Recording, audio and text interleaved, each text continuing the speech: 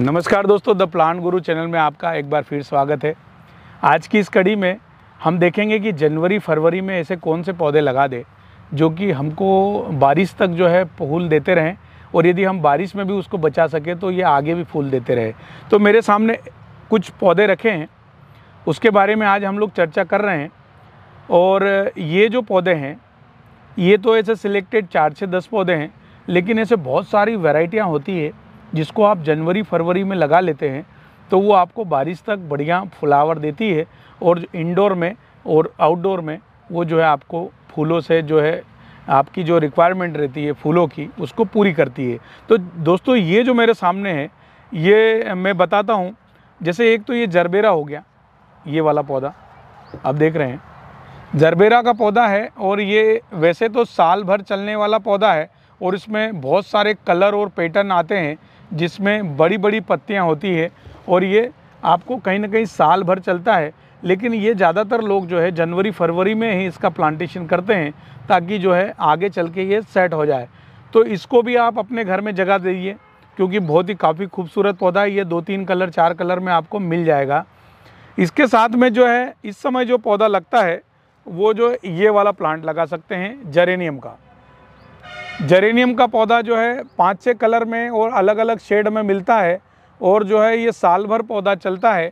लेकिन बारिश के दिनों में इस पौधे में थोड़ी सी पौधा गलने की शिकायत आती है, इसलिए यदि बारिश से डायरेक्ट बारिश से बचा लेंगे, थोड़े शेड में रख लेंगे, ग्रीन हाउस, पोली हाउस या आप पोर्च में रख लेंगे तो ये जो है, पौधा आपका बच जाएगा। दोस्तों, ये कटिंग से तैयार होता है पौधा। अब ये देख रहे हैं, ये सारे कटिंग की हुई है। मतलब इस पौधे से भी चार पौधे पहले बन चुके हैं, उसके बाद में ये पौधा आपके बीच में है।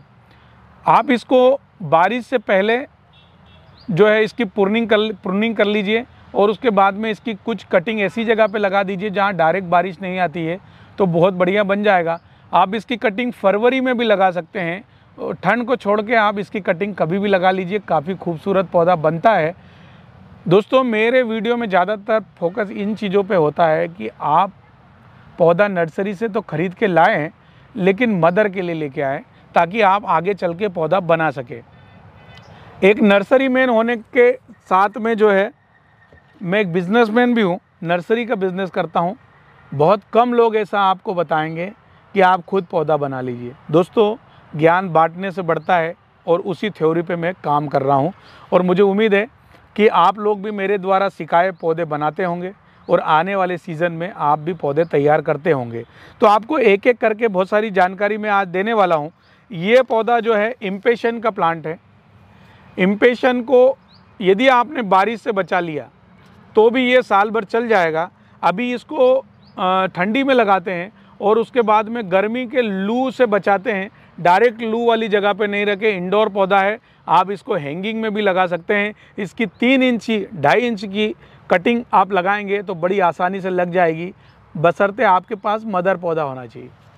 मदर पौधा इसीलिए फिर एक बार बोला कि आप नर्सरी से चार, पाँच छः कलर जो मिले वेरीगेटेड मिले शेड वाला मिले सिंगल मिले, आप पौधा ख़रीद लीजिए इम्पेशन का।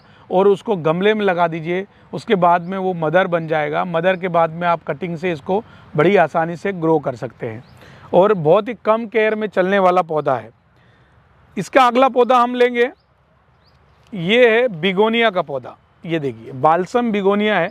वैसे बिगोनिया बहुत सारे, आपने देखा होगा, लाल पत्ती का आता है, जिसमें शेडेड प्लांट आता है। ये बालसम बिगोनिया है। इसकी मोटी मोटी टहनियाँ रहती है।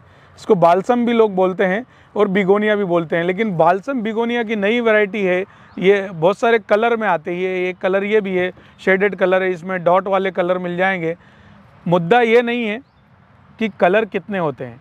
मुद्दा ये है कि आपके पास मदर है कि नहीं। इसका भी मदर आपको ठंड के दिनों में मिलता है, जनवरी, फरवरी में इसका मदर आप लगा लीजिए, उसके बाद में आपके मदर होने के बाद में ये पौधा बहुत अच्छा ग्रो करेगा। गर्मी के दिनों में लू से इसको भी बचाना है।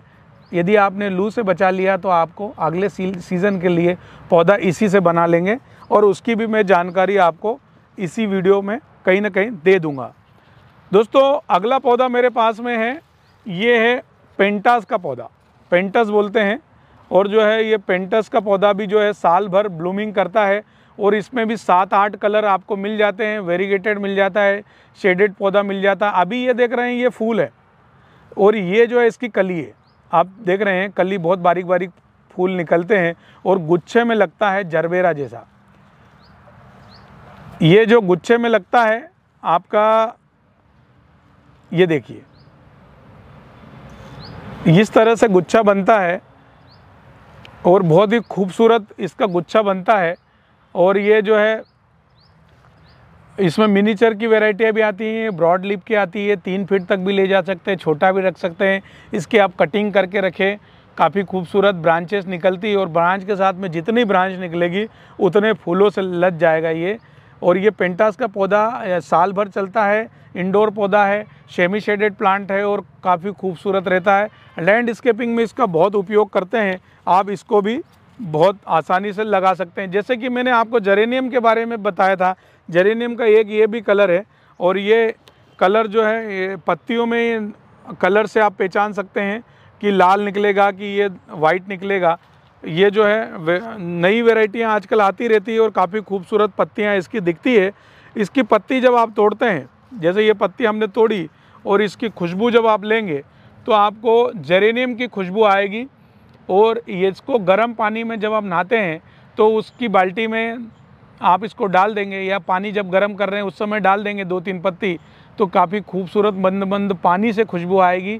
जरेनियम की नेचुरल फ्रेगरेंस है, जरेनियम का इसका। आप इसको भी अपने घर में एक जगह दीजिए। बहुत ही खूबसूरत पौधा है, पत्तों से भी खूबसूरत है और फूल से भी खूबसूरत है। इसके साथ में आप जो है बहुत सारे ऐसे पौधे लगा सकते हैं, लीफ वाले।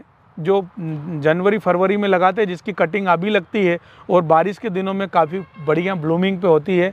ऐसे तो फूलों का बहुत बड़ा एक कलेक्शन होता है, बहुत सारा आप रखते भी हैं। मैंने मेरे बहुत सारे सब्सक्राइबर है, मेरे को बहुत सारे कमेंट करते भी हैं कि, सर, हमारे पास ये कलेक्शन है, ये कलेक्शन है, बहुत अच्छा लगता है।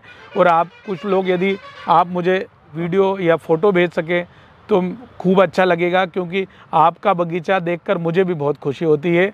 और यदि आप फिर भी संपर्क ऐसे नहीं कर पाए तो आप कमेंट में आपकी कुछ समस्याएँ या आपने कुछ अच्छा किया तो उसके बारे में लिखिए, मुझे बहुत अच्छा लगेगा। दोस्तों, क्या होता है, एक शिक्षक या जो पढ़ाने वाला होता है या जो कुछ समझाने वाला होता है या कुछ बताने वाला होता है, उसके द्वारा बताई गई चीज़ यदि कोई अप्लाई करता है, कोई सीखता है या कोई काम में लेता है और उसको फ़ायदा होता है और उसके यहाँ पर उसका रिज़ल्ट अच्छा आता है और उसको सुन के हमको भी बहुत खुशी होती है कि हमारे द्वारा बताई चीज़ें लोग अप्लाई कर रहे हैं और उनको सफलता मिल रही दोस्तों तो आप अपने शेयर जो कमेंट के माध्यम से आपके विचार ज़रूर शेयर कीजिए।